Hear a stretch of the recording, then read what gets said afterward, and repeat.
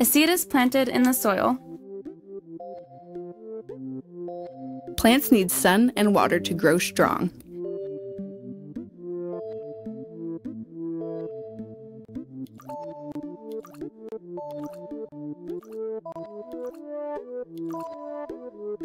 With all the proper nutrients, the seed starts to grow roots. The seed starts pushing up through the soil, and a sprout is born.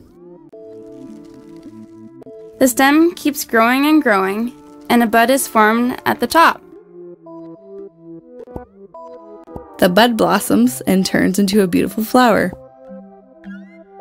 The flower is now fully grown and produces pollen.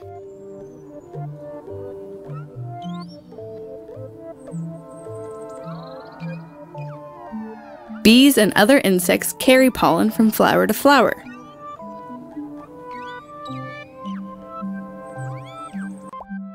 This process of pollination creates seeds.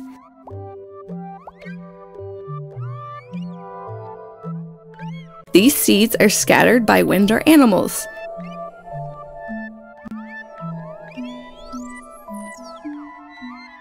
And the process starts all over again.